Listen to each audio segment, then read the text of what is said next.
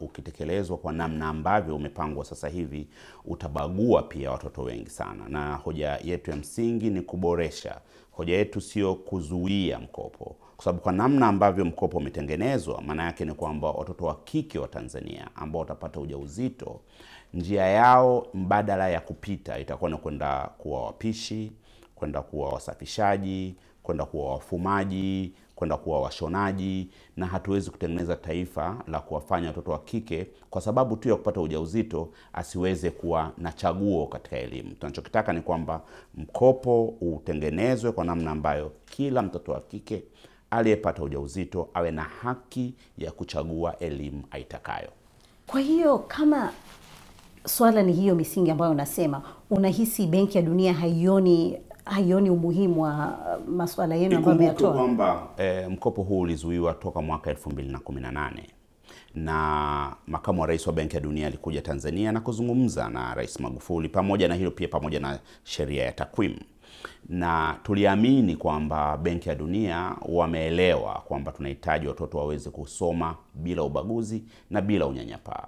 Tumeshangaa sana kuona e, nyaraka za mkopo ni zile zile zilizokataliwa mwaka 2018 na ndio maana tunataka bodi ya Benki ya Dunia izuie mpaka hapo marekebisho yatakapofanywa ili mkopo huo uweze kuendelea. Lakini pia ni jambo la msingi kueleza kwamba Benki ya Dunia inataka kutoa matrilioni ya fedha haya kuipa serikali ya Rais Magufuli mwaka wa uchaguzi. Hii ni sawasawa na ku, na ku, na kuwaunga mkono na tumeshuhudia kwa kipindi cha miaka minne serikali hii imekuwa ikikandamiza haki za watu, uhuru wa habari, haki ya kufanya siasa. Kwa hiyo tunadhani kwamba Benki ya Dunia inapaswa kuwa makini na namna gani ambavyo na wakati gani inatoa fedha kwa serikali za nchi za Kiafrika. Lakini hilo huna ushahidi, unahisia tu kwamba itatumika kisiasa. Una ushahidi wowote? Nina ushahidi kwa sababu kwanza, kwa mujibu wa nyaraka za mkopo zinatengenezwa shule eh, elfu moja shule mpya elfu moja lakini ukisoma kwa undani, kiuhakika si shule mpya.